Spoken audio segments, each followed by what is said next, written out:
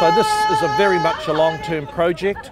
2,000 people over time will be employed here. It's a nation-building project and I've had the privilege to come on behalf of the New Zealand government today and formally announce the $40 million.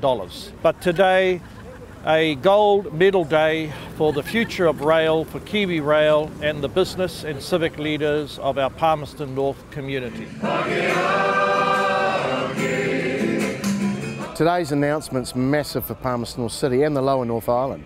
In fact, nationally as well. This is the only place in New Zealand where you'll have rail, road and air freight all connected in the one place. This will be arguably New Zealand's biggest distribution and logistics centre once it's completed. So the hub will bring many jobs, not only directly with the building of the hub, uh, mainly about 300, uh, but actually more than 2,000 once the logistics park and distribution networks are all set up. Yeah, this means a great deal to KiwiRail, today's announcement, a $40 million injection to buy some land. What it does for us is it gives us a footprint bigger than the Tremaine Ave rail site we're occupying now.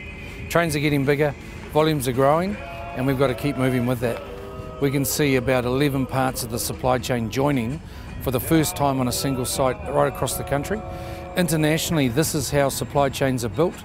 The railway is the only unique mode that unlocks this value. Sea, ports and road don't. And in every country where the railway grows, the surrounding hinterland unlocks value.